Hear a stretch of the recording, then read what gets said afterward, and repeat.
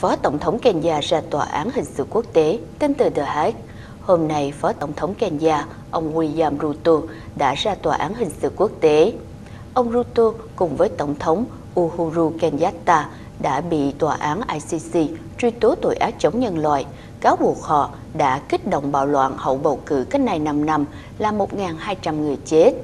Vụ truy tố là một thách thức chính cho các nhà công tố ICC đang bị chỉ trích chỉ tập trung vào các nước châu Phi, tránh né truy tố và điều tra tội ác tại các nơi khác trên thế giới.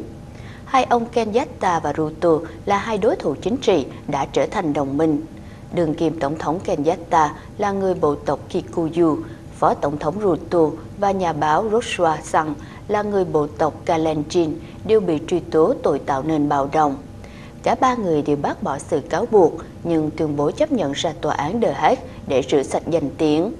Phiên tòa xét xử ông Ruto và ông San đã bắt đầu vào ngày hôm nay.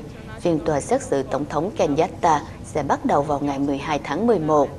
Vụ truy tố hai ông Ruto và Kenyatta đã trở nên phức tạp sau khi họ đắc cử trong tháng 3. Kenya đang được coi là quốc gia có vị trí rất quan trọng trong cuộc chiến chống lại chủ nghĩa khủng bố và là quốc gia có nền kinh tế thịnh vượng nhất ở Đông Phi Châu. Bạo động hậu bầu cử năm 2007 đã làm cho Kenya bị mất danh tiếng là quốc gia ổn định chính trị nhất ở châu Phi. Tức giận đối với các truy tố của ICC, trong tuần trước, Quốc hội Kenya đã bỏ phiếu đòi rút ra khỏi ICC. Tổng thống Kenyatta tuyên bố sẽ ngừng cộng tác với ICC nếu đòi ông ta và Phó Tổng thống ra tòa cùng một lúc, làm cho quốc gia không có người lãnh đạo.